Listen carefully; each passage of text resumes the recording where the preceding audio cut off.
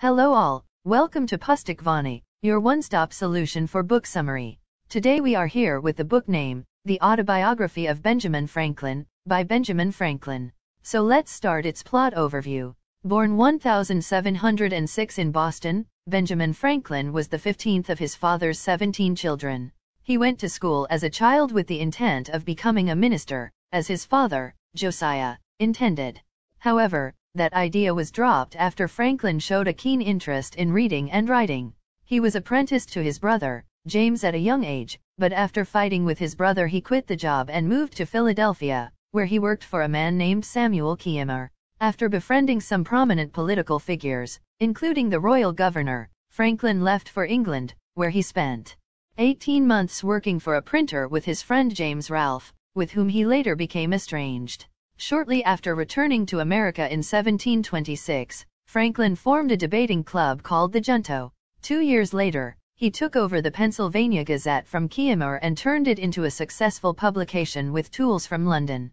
In 1730, Franklin wed his old sweetheart, Deborah Read, with whom he had two children. The first, William Franklin, was born approximately one year later. He is the man to whom the autobiography is addressed in Part 1.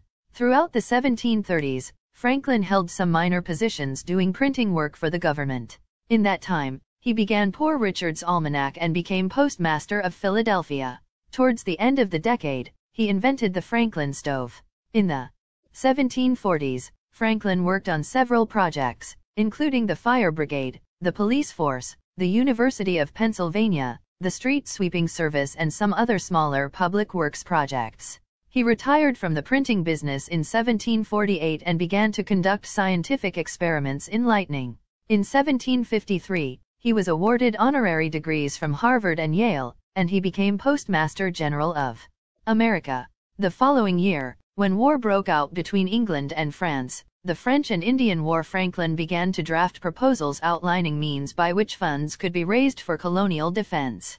He succeeded in many of his proposals, and he personally played a large part in organizing the war effort. The autobiography, however, breaks off in 1757, it is left unfinished. The autobiography itself was written in three different times, 1771 in England, 1783 to 83 in France, and 1788 in America. If Franklin meant to complete it, he died before he got the chance.